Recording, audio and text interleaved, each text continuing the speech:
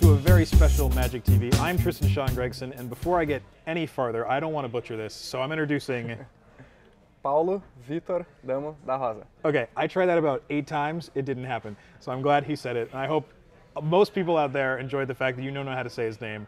Paulo, PV, whatever I'm going to say from now on. It's a pleasure to have you here with me today. Um, let's talk about Worldwake. Let's talk about Limited. I mean, have you drafted it much? Yeah, we drafted a lot while we were here. And what are your thoughts? Uh, just initial thoughts so far. How much has it changed Zendikar Limited? I think the format's a bit slower now. I don't think it was as fast as people thought it was before, but now it's even slower. It's, it's not a slow format by any means, but just slower. Now, does that mean that you were one of the guys at the table that wasn't trying to draft the black red in the past? Were you taking slower cards before this set came out, or I mean, did you have a preference? No, I think. Well, it's not that I don't like the aggressive cards. If the, they come my way, I will draft them. But cards like Staplings and Adventuring Gear, I don't like those. Like even if I'm aggressive, I would rather have something that's good like later on, and not something that's only good on turn one. Uh, I like. I don't like like one drops, one ones, and I think Staplings is just like that. So I, I, I don't like that. Okay. Um, so with Worldwake slowing the format down, do you see yourself making? I mean, what what picks in Zendikar have gone up the scale or down the scale as far as like playability or value in draft? Mm, Well, I think three drops uh, are you can be like more conservative with three drops because before there were no three drops. You had like pick Mindless Nulls with intention of playing them, Stonework Pumas, and nowadays you have those multi kicker guys like three two twos or better, and the set is smaller and they're all common, so it's really easy to get three drops right now. Uh, five drops you don't need as many because of those guys as well because you can play them on five, and there's like the five mana for three that bounces. There's the three three first striker, so I think that changes a little bit your like curve evaluations. You don't have to pay as much attention as you did before because those guys are flexible. Sweet, sweet, sweet. Now, I don't know how much you play with the sets right now, but if you had to say the best common and limited for Worldwake, what would your card be? The one you've had the most success with, the one you've seen other play- people had success with. I don't know, Searing Blaze maybe. No, that's uh, Luis and Jerry agree with you. They're a huge fan of that card. Uh, I mean, it's never bad, and it's always really good. I mean, it's almost always really good.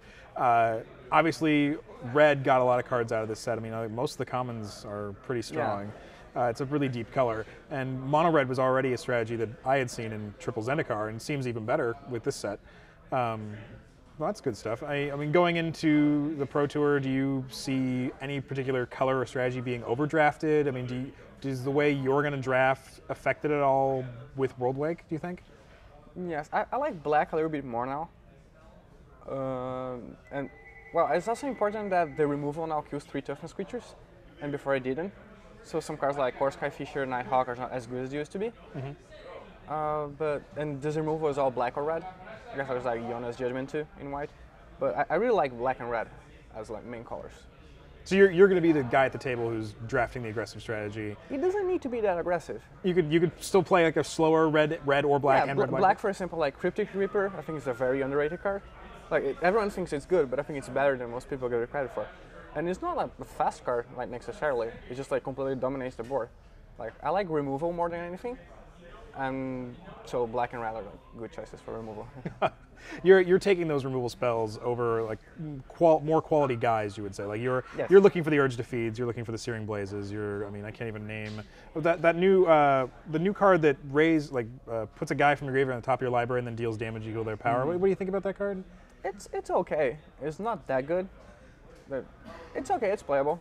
It's not something I'm very excited to have. A, a Like, card. Yeah, we had a draft where I had like two gatekeepers, like one Nighthawk, which are guys you want to come, you want to come back, and it also kills the small guys, so the gatekeepers get better. So it was actually very good in that. But Overall, it's not. I mean, against the green decks, it's probably not going to be that, that good. It's it's one of those cards that definitely seems like there's a lot of skill behind it in order to play it well. yeah, it also depends a lot on your deck. Like depends on what you have. Uh, A lot of the other talk about black cards in this format. I heard like a card like Grim Discovery is a lot better because you've got uh, the Zend, oh, is it not the Zendikons. You've got like Quicksand at the common spot. You've got more lands that do stuff, like even I mean, even Tectonic Edge. Like some, you have got more lands that make card like Grim Discovery better. Uh, would you agree with me on that? Where it's like, Yes, there are cards that make Grim Discovery better, like, but I don't think I would draft it any higher. Just like if I happen to to get it, then there is a higher chance that I'm playing it, depending on what I get.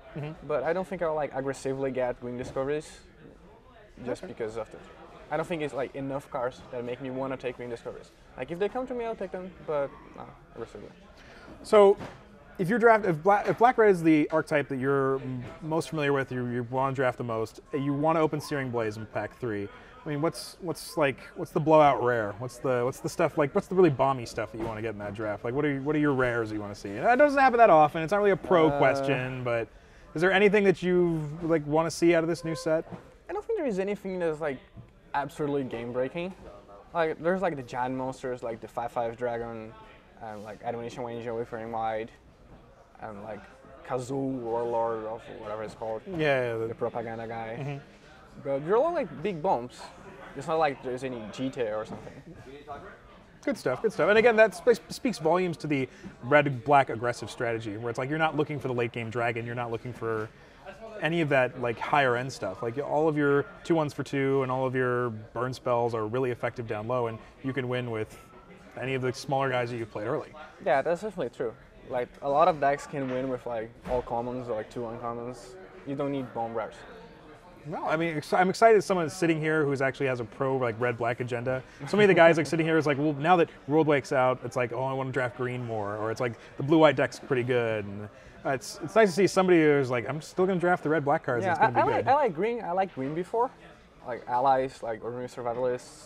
I think if you get a good curve and stuff like that. I'm not opposed to green, but I think black is my favorite color, red is my second favorite color, and then comes green. no, all right. Well, uh, Then blue, then white. I hate white.